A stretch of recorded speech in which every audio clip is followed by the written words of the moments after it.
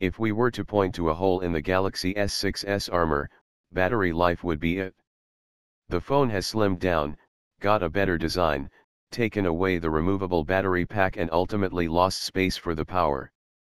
As a result, it can only just about last the day in normal conditions, which isn't really long enough for a market-leading smartphone.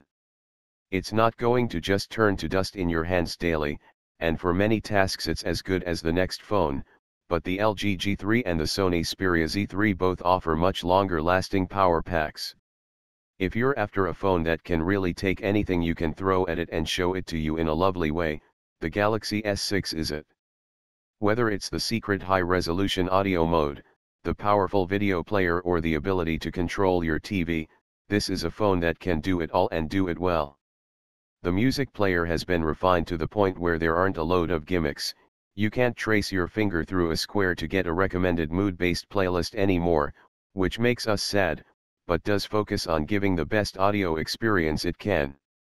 Adapt Sound is a real favorite, go through a series of beep tests, listening for sounds, not performing shuttles up and down a lab, and the phone will work out how good your headphones slash ears are and adjust the sound accordingly.